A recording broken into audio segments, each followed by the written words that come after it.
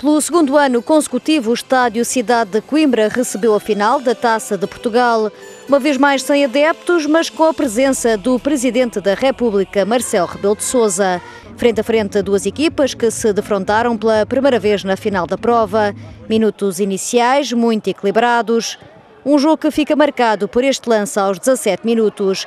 Foi assinalada falta a Elton Leite fora da área. Nuno Almeida dá vermelho direto ao guarda-redes do Benfica. Muitas dúvidas se Elton Leite toca em Alain Ruiz, que não estava a ir na direção da baliza. O árbitro a decidir sem recorrer ao monitor e sem intervenção do VAR.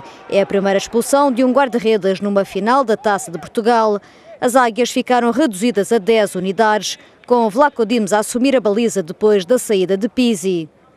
Aos 28 minutos, primeiro remate enquadrado no jogo de Galeno para a defesa segura de Odisseus Vlacodimos. Aqui grande corte de Otamendi a evitar o gol de Ricardo Horta, um lance que começou com uma falta de Castro sobre Weigl.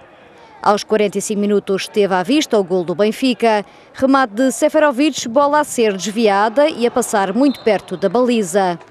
De seguida foi a vez de Weigl para a defesa de Mateus na cara do golo. Segunda ocasião consecutiva e a jogar com menos um jogador.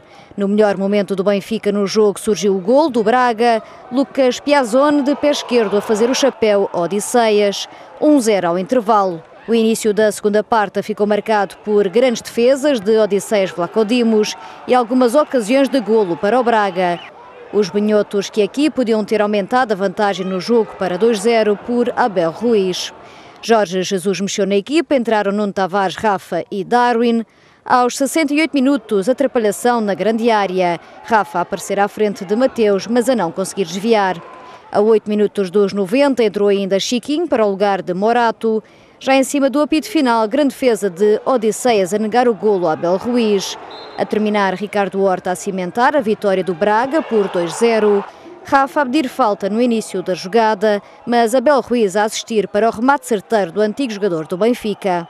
O jogo terminou com a expulsão de Lucas Piazzoni de Tarabt e com os ânimos mais exaltados. O Benfica ainda podia ter reduzido aqui por Rafa a cruzar para o interior da área e Chiquinho de pé esquerdo a rematar para fora. 2-0 foi mesmo o resultado final do Braga a vencer a terceira taça de Portugal do Palmarés.